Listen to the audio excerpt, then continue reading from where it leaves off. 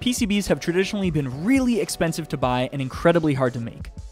But now that you can mill one out on your desktop or very cheaply order one, it's easy to play around and see what other weird crap you can use them for. Two years ago, I had an idea. The popular Pepakura software is usually used in papercraft, and it takes a 3D model and unwraps it into all the little faces that make up the model. Then it adds glue tabs and spits out a PDF so you can print out the pages and assemble your model from paper. What if you could use PCBs instead of paper?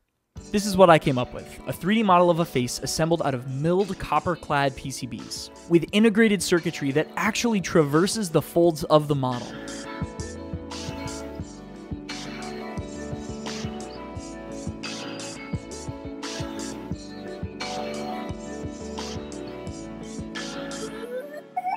The first thing was picking a model and unwrapping it in Pepakura. I chose this spooky face model, and all of these are all these individual panels that will actually make up the mask. See these like kind of ones with little hooks on the edge? That's the nose piece.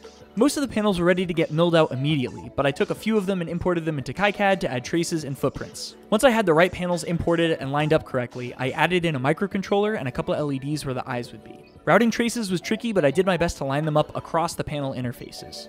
Then these panels could be exported from KiCad and milled out just like the others.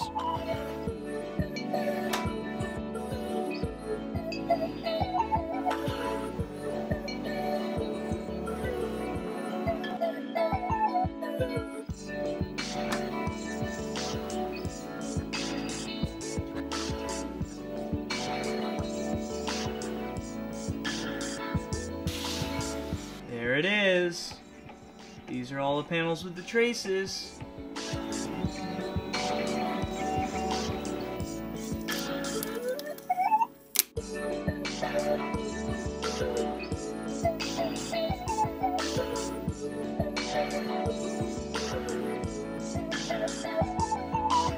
The last and easily the most tedious part was sanding a chamfer into every single panel so that they would meet flush with each other and gluing all of the panels together.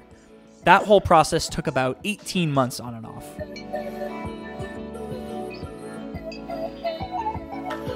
Initially, I tried to solder the panels together, but they really did not want to join like that. I ended up using some super glue with some baking soda to instantly cure it and add some structure, and that held the panels together really well.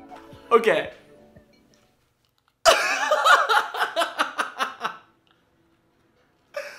I mean, look at this thing. And it's got circuits in it. So cool. Oh man, I'm dusty. Ugh.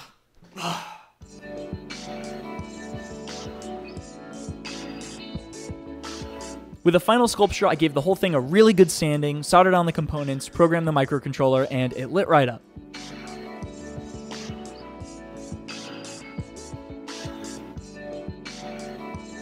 I wanted to display it in a cool way, so I used some copper tubing I had laying around to deliver power to the mask and mount it to a base.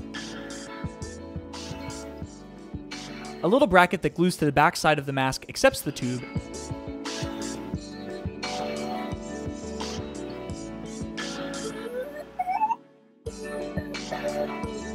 And a 3D printed base provides a sturdy frame that keeps the whole thing stable. This project has me thinking of all the other weird, crazy crap you could use PCBs for. PCBs are fundamentally just another 2D building block, and there's no reason they can't be used like any other 2D stock material. I've got a ton of ideas of other things I want to make using PCBs in super weird ways. I put a bunch of my inspiration for this project in the description. If this is your first time here, consider subscribing and check out my Patreon where you can help me build more weird stuff. Thank you so much for watching, and I'll see you next time. But before I go, I want to thank this video sponsor, PCBWay. I've been using PCBWay for all my designs recently, and they always come out absolutely gorgeous. This whole project was all done on a mill, but I want to try and start making them more complicated. Doing three-dimensional stacks of boards with like wiring going through them and weird mechanical things. So I'm gonna be asking PCBWay to make some of these weird things for me, and I have no doubt they're gonna be able to pull it off. They've done so in the past. I've had some really weird asks of them before with what I'm trying to do with my board, and they've always been able to make it happen really well. I am genuinely, honestly, always impressed with the quality of the boards that they ship out. If you're looking for a board shop to make one of your designs, I highly recommend PCBWay. Thank you so much to PCBWay for sponsoring this video. This is gonna be a lot of work.